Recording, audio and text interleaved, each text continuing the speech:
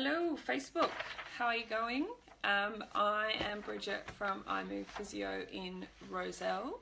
Um, I'm going to talk to you tonight about a study that came out, uh, saw it last week through the Australian Physio Association Facebook page, um, but it was actually a study through the British Journal of Sports Medicine, and it was all about swimming. Um, I people who've seen me and know me know that I like to swim a lot.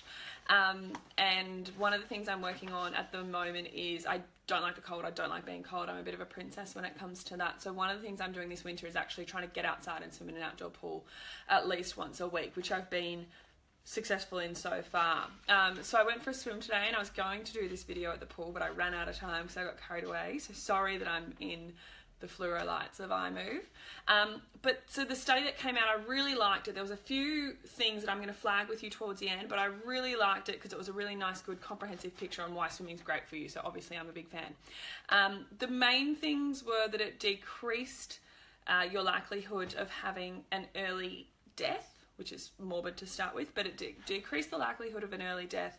It had improvements in heart health, in uh, improving and preventing uh, chronic conditions like obesity and diabetes, which are really big factors in our economic uh, health expenditure.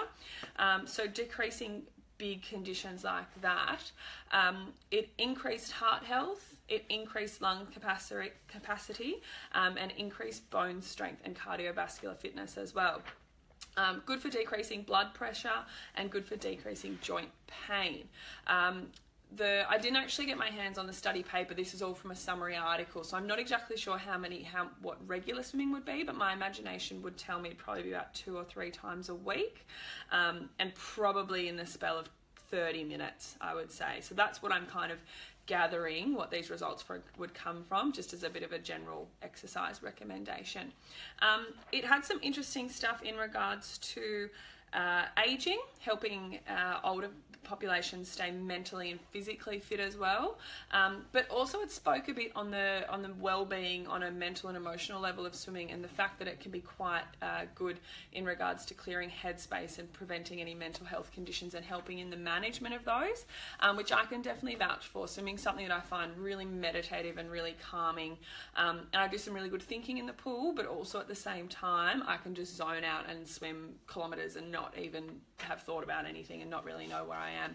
So I can definitely vouch for that on a, on a mental perspective, and that's a personal experience that I've had. And I have a few patients, and we kind of talk about, did you get into the meditative zone when I was swimming? Yes, I did. It was great. It's really therapeutic in that regard, um, and just the feeling of being in the water as well. So I really liked that aspect of this study, um, and that was something that I really uh, was drawn to because I. Um, experience that even just the counting of your breath counting those breaths and that rhythmic counting is just enough sometimes just to really help me switch off and relax um, and i love the feeling when i get out of the water um, the thing that just i flagged with this study was uh, who it was funded by, and that's always something that we look at in regards to a study uh, as to whether it might be biased. So, uh, this study has come out in the middle of the Australian winter.